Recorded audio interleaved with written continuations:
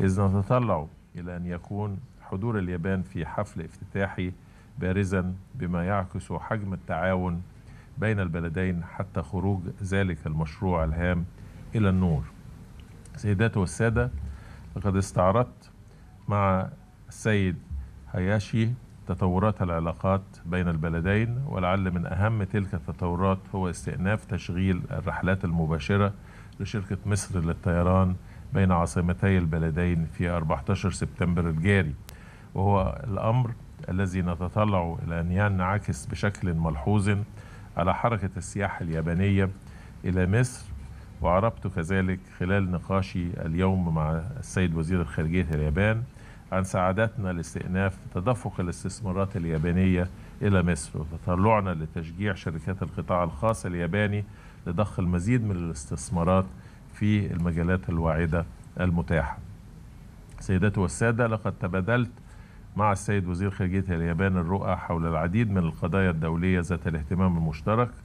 قد كانت النقاشات إيجابية وبناءة حيث استعرضنا ما تشهده الساحة الدولية اليوم من تحديات ولا سيما التبعات الاقتصادية للأزمة الأوكرانية على الدول النامية. تبحثنا كذلك بشأن العديد من القضايا الإقليمية لا سيما القضية الفلسطينية والأوضاع في ليبيا واليمن كما أطلعت وزير الخارجية على الاتصالات والجهود الدبلوماسية التي تقوم بها مصر اتصالا بالشأن السوداني وفي مقدمتها قمة دول جوار السودان التي استضافتها مصر في 13 يوليو من هذا العام. وبشكل عام فقد برهنت المباحثات على تقارب الرؤى البلدين تجاه العديد من القضايا الدولية والإقليمية حيث اتفقنا على مواصلة التشاور والتنسيق.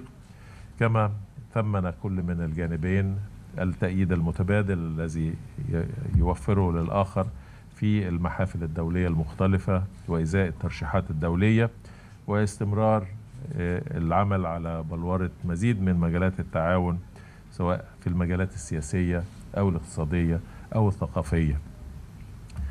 يسعدني في الختام أن أؤكد مجددا للسيد هاياتشي حرص مصر على تعزيز وتعميق التعاون مع اليابان بما يعكس تميز العلاقات السياسية بين البلدين وثقتي في توفر ذلك الحرص وبذات القدر لدي دولة اليابان الصديقة إذ أجدد الترحيب بضيفنا العزيز والوفد المرافق لمعاليه متمنيا لهم إقامة سعيدة في مصر.